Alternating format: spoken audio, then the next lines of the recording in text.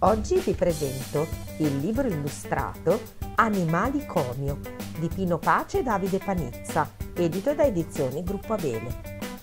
Che ci fa un cormorano in tangenziale e una pantera tra i sassi di Matera e un cavalluccio marino a Portofino?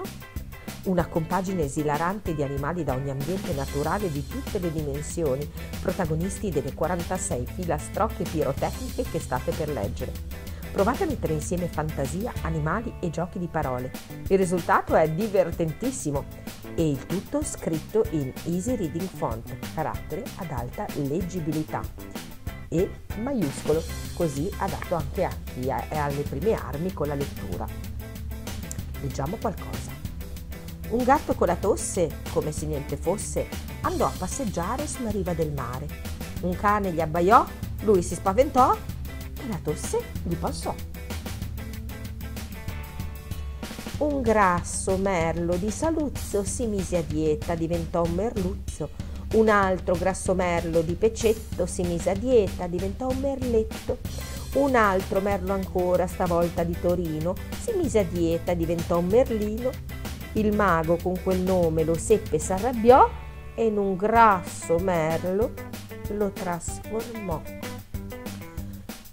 Forza di ragliare, all'asino cascò la coda, poi le orecchie, poi il naso, i denti, le guance. Allora s'arrabbiò e ancora più forte ragliò. M'han detto d'un cavalluccio marino che passava le ferie a Portofino, ma con i prezzi che correvano quell'anno a Portofino fece solo il capodanno. Arriva la puzzola, inciampa, ruzzola, sghignazza la gazza, il corvo l'ammazza.